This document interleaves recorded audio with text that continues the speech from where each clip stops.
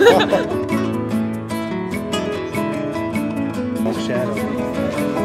Ready? Really strongly.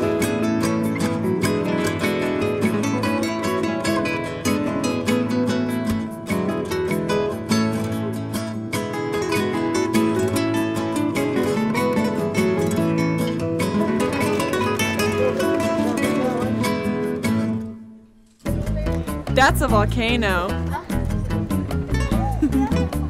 I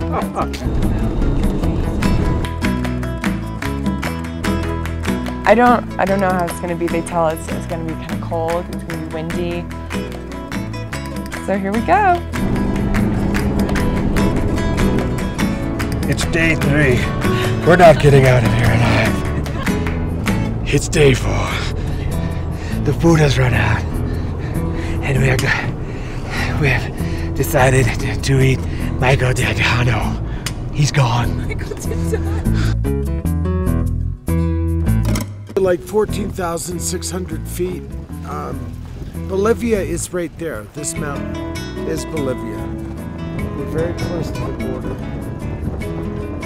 Our breath is shorter because the altitude is 14,000 feet.